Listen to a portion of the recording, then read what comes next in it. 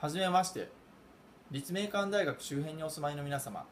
京都の青葉整骨院です。この動画を見ているあなたまたはご家族友人が交通事故の被害に遭われた時お伝えしたい大事なことがあります。症状が軽度で我慢できるまたは時間がないなどの理由で治療を受けない方事故当日は興奮したりパニックで症状が感じにくいこともあり時間の経過とともに頭痛吐き気めまい手足のしびれ首肩のだるさなどに発展していくこともあり事故に遭われたらすぐに交通事故治療が経験豊富な早期復帰早期回復の専門整骨院接骨院整形外科などに行くことをお勧めします。